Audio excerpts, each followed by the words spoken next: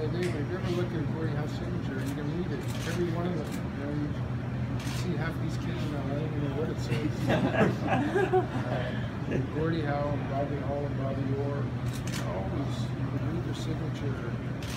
They always took the time to make sure you could read the signature. So years from now, the kid would say, "Oh, I got this from Bobby Orr, Bobby Hull, and Gordie Howe." You could read it.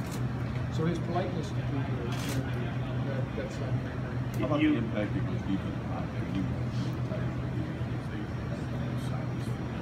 Oh, yeah.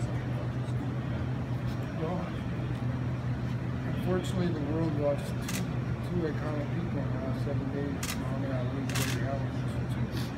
Completely different personalities, and yet both very similar. in that They were caring and nurturing and loving to everyone.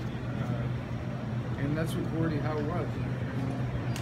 Gordie Howe, in a lot of ways, made hockey popular in the United States.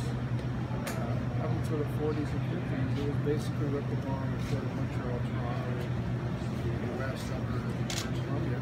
Gordie Howe coming to Detroit really changed sort of the landscape of hockey itself in the United States. He was the first guy, and Bobby Lee, obviously in Boston, but Gordie Howe was the first guy to sort of pave that road.